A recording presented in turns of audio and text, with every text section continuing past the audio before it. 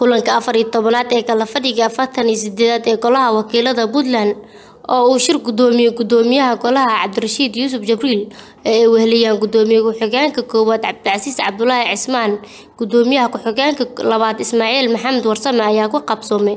magaalada garowe ee maamulka puntland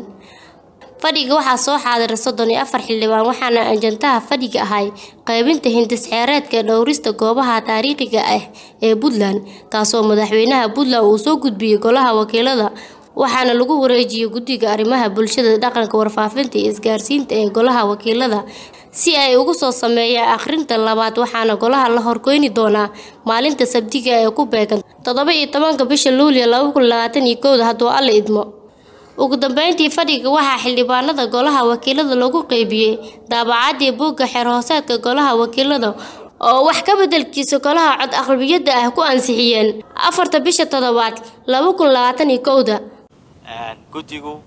waxay haystaan muddo saddex maalmooda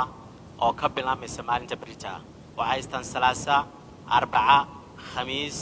jimcana nasiibkooda waa heleen sabtida inaan halkan isugu nimaadno si ay uga soo shaqeeyaan ishaabnimada xeerka waa inooya maalinta sabtida ee soo socota iyo guddiga oo xeerkii ka soo shaqeeyey lana wadaagay xeerka cid kasta oo ay khusayso insha allah bimillah kariim maanta fadhigeenu mudan yaal intaas aynu ugu kuban yahay waa inooya maalinta sabtida insha allah bimillah kariim wasalaamu calaykum waraxmatullahi barakatu fadhiguna waa xidhay faadima maxamed warbaahinta city